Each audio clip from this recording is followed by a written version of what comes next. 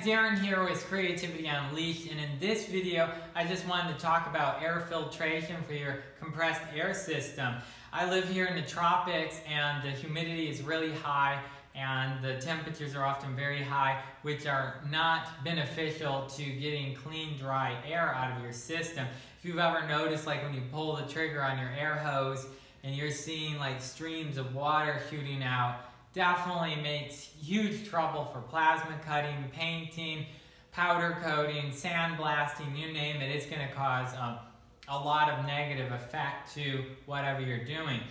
So you you possibly have seen one of these. They're a brass filter that has a swirl system in it that causes the air to swirl around this um, special material brass filter that um, causes the moisture in the air to condense um, formed at the bottom and you're able to empty this very um, easily. This one happens to have a regulator which is convenient for if you're setting up like a separate workstation and want to be able to control your air pressure. Um, but these will eventually get um, an oil film built up on them and may not want to be um, uh, filtering very well and collecting the water out of the air. And in that case, you can take them apart and clean them with like Dawn dish soap. We, at the end of this video, I'm planning to show you how to uh, maintain your filters um, so that you keep them working well. Um, eh, but this is um, something I've been using for a while. I've just got another one because I'm putting a new setup in. This is an oil separator um, filter and a desiccant dryer. Um, this uses um, desiccant, which is um, little these little bead pellets that come blue, and as they absorb moisture, they become pink um, when they're fully saturated. Um, and you don't have to throw them out. You can actually take them out and um, put them in like a dehydrator or an oven or something at the right temperature, dry them out, and reuse them, which can end up saving money over time. so we'll go into some details. This also removes the dust and contaminants that can be in the air supply or in the tank of your compressor and some of that. Now, one of the things is if you're in the tropics, these, um, after doing um, some volume of air, depending how well um, the rest of your system is doing is separating water um, or the temperatures outside, also if it's really hot, it tends to hold a lot more moisture in the air, and so these have a hard time removing the moisture. And in that case, you're probably going to need a refrigerant air dryer. I ordered one some time ago for my CNC plasma system. Should be getting in pretty soon and we'll do a video on that as well. Um, so that will be my first part of my filtration system will be a, um, a um, refrigerant air dryer. I got a more industrial brass type filter here. This is a lot bigger and this is going to be part of my um, system as well. Um, but when you're doing something like sandblasting, it seems the volume of air you need to dry would make it where you're usually going to need a refrigerant air dryer or a very big desiccant dryer. I'll put in a link to someone who built a very big desiccant um, system at home pretty easily for doing sandblasting. It worked quite well for them.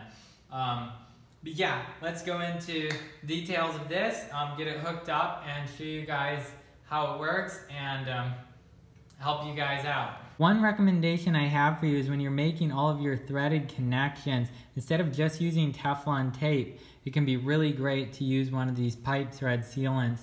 Um, it's instantly fast, just put it on, screw it together, and I've had no trouble with leaks, whereas occasionally with Teflon, you might get a leak after you have everything together, and it's a bit frustrating having to tear things apart and try to fix a leak.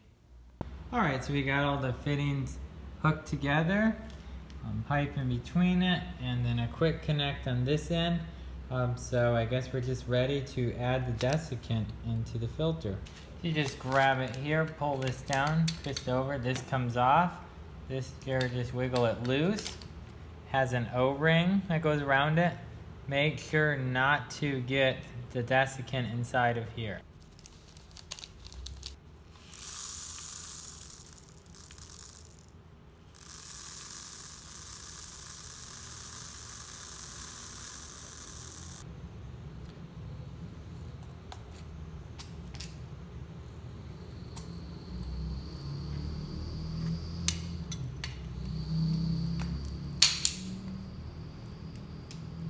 So apparently don't um, overfill them, leave about a half inch space of desiccant. So it looks like they put a little bit more desiccant than will actually fit in one of the bags. So I'll put the rest in like a Ziploc or something.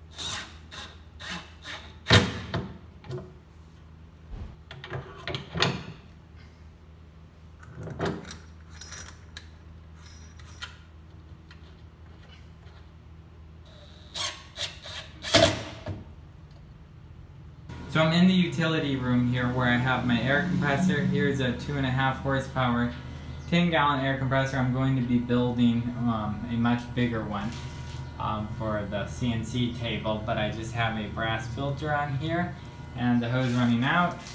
And temporarily here I have the filtration system screwed to one of my workbenches and got the hose connected so I can just connect into it and use it for whatever I need.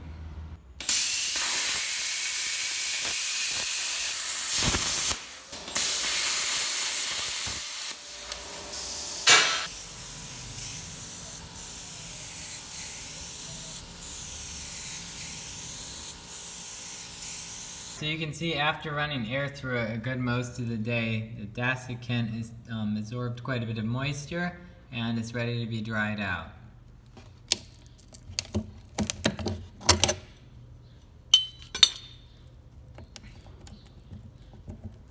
So for drying the desiccant, I just have this little tin like pie plate.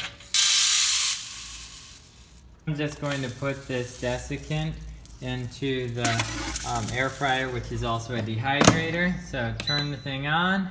We're going to dehydrate, and then we're going to go to 135 degrees. It recommends not to go over 140 with the desiccant.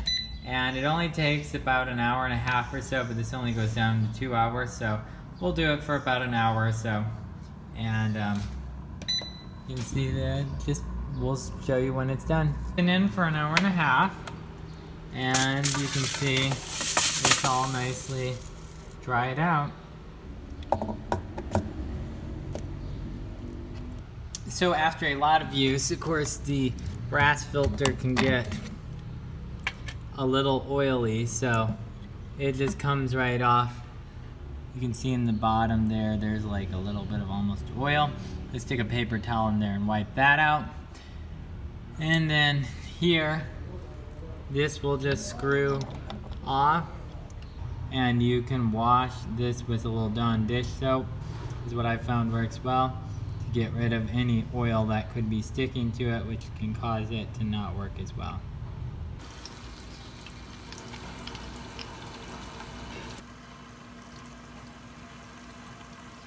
So as you can see there's quite a bit of gunk in the bottom of this one thing to remember is do not wipe the grease off of the O-ring. It's um, like a petroleum jelly nut. So this, so once you get this on, you just give it a twist and it clicks on. And then this just slides up back over it and slides into place. Put on your retainer at um, at a 45 degree angle and then it will just slide over and click on and you're done.